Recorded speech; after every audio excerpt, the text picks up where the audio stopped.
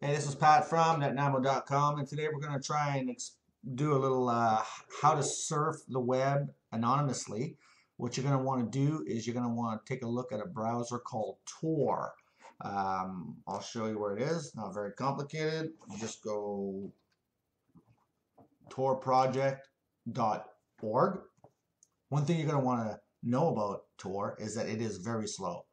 Uh, because your information is being bounced all over the world, um, it's it's it takes a while for it to get to your place. I mean, slow. You know, it's not it's not dial up slow, that's for sure, but it, it's definitely a little slower. So basically, what you do is you go to uh, torproject.org and download the browser, open it up, and uh, it takes you uh, where you need to go. So, for example, here, if I do a Google, if I want to go to Google, uh, we'll go to google.com. Now, the thing with Tor is it doesn't keep your your search history. It doesn't allow for um, it doesn't allow for um,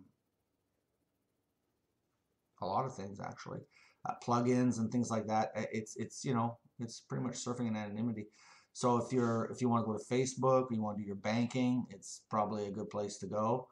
Um, yeah. So basically, I'm just you know, go to the site, check it out. And, uh, you know, you can have, there's actually a USB uh, CD stuff that you can download to help you get uh, past um, um, censorship, you know, where you are. Uh, I mean, a, Tor is often used by um, journalists and, in, countries like China who, you know, need to sneak under the radar and uh, access uh, uncensored sites. Anyways, that's basically it. Uh, this is Tor. Helps you surf with anonymity. It is, um, like I say, slow.